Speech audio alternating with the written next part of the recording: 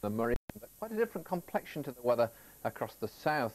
There were thunderstorms moving in across Poole first thing this morning, and those storms moved further north, but at the same time disintegrated during the day as they headed north across Wales, the Midlands and into East Anglia. Now, having said that, we're now seeing some more showers developing, possibly with thunderstorms as well, across there in East Anglia over the past hour or so, and they're set to move northwestwards now across northern England throughout this evening, so we're not out of the woods yet. There could be the odd thunderstorm to come. And also low pressure developing off the southwest of England. That means more showery rain to come across the south, Wales and the Midlands as well in the second half of tonight.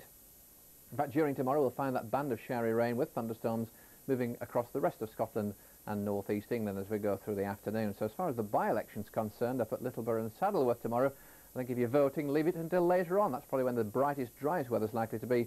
Really quite a lot of showers around, I would think, up until about mid-afternoon. The temperature not bad at about 22, and that's 72 degrees Fahrenheit.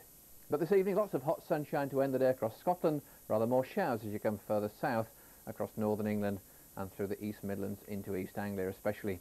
Rather a close night to come, a warm night, but turning rather misty in places, 15 or 16 degrees being the minimum temperature. But tomorrow, pressure continues to leak away, which means there will be more showers on the cards. Quite a cloudy morning, in fact, across much of the south, showery bursts of rain moving northeastwards as the day goes along, and every indication that there could be the odd crack of thunder, especially across northeast England northwards up into Scotland come the afternoon. Then some drier, brighter weather following from the southwest for a while. More rain, though, in Southern Ireland and Cornwall by evening.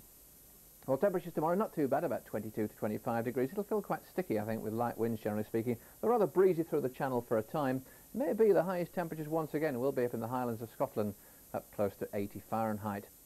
Well, then on Friday we'll find our next batch of rain moving across many parts of the country. Outbreaks of mainly light rain across the south, some heavier rain as you go further north, and again quite warm and sultry. But once we hit the weekend, it's basically the same story. A mixture of sunshine